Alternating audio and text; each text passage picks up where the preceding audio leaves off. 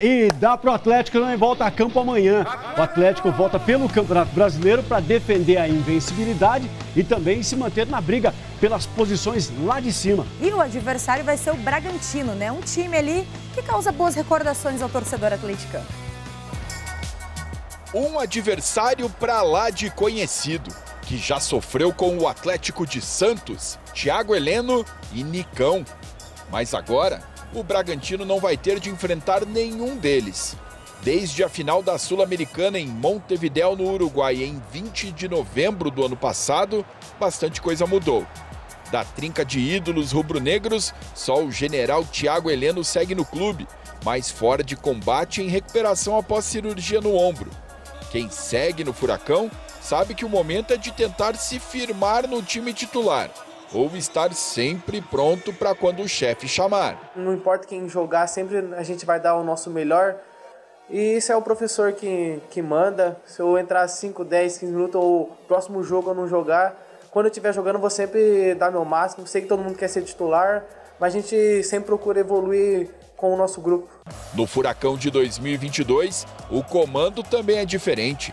Felipão chegou para mudar o roteiro da temporada levou o time a 10 jogos de invencibilidade. O que a gente tem falado é que, é que se nós formos um time equilibrado, nós, as nossas chances melhoram ou, ou crescem.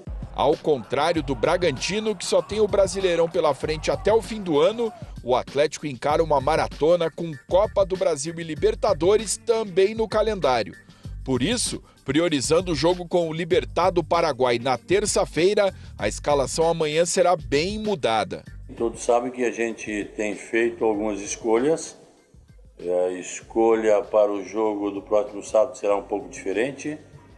Nós eh, vamos ter uma, um jogo de classificação com o Libertar na terça-feira. Uh, devemos saber que os nossos jogadores, alguns estão já numa fase muito difícil é, de recuperação física, então temos que ter um pouquinho mais de tempo. Em vantagem na Copa do Brasil, com um olho nas oitavas da Libertadores e defendendo o terceiro lugar no Brasileirão.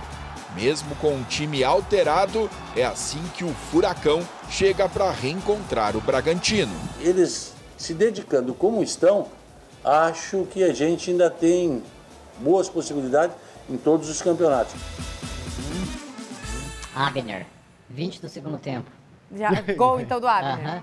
Tá bom. Tá até perto aqui tá. para esperar a bomba que viria, mas tudo não, bem. A bomba Pode é o seguinte, quer previsão rapidinho aí, rapidinho? Ah, não, não, não. Não, não dá então, tempo. Beleza. A gente quer saber se você tá certo e se o Abner vai jogar. Então a gente vai acionar a Lara Mota de novo para falar justamente do time que vai enfrentar o Bragantino, né, Mauro? Exatamente, tá aqui a Lara Mota. Ah, o, o Filipão já tinha avisado que não vai com força total para esse jogo, até para poupar os jogadores, né, Lara? É de cabeça, né, Lara? Lá, Abner de cabeça. Quatro titulares. O ET tá bem na fita porque o Abner é um deles, Aí, viu? Ó. Então o Atlético vai poupar mesmo, vai com um time alternativo, não é 100% reserva, tem quatro titulares, é o que a gente está apostando, pelo menos para esse mistão aí do Atlético. Então já vamos direto para a tela, já vamos mostrar quem são os jogadores que podem entrar em campo contra o Bragantino. goleiro Bento, Eric, Matheus Felipe, o Nico e o Abner aí, ET, vamos ver se vai fazer o gol ou não.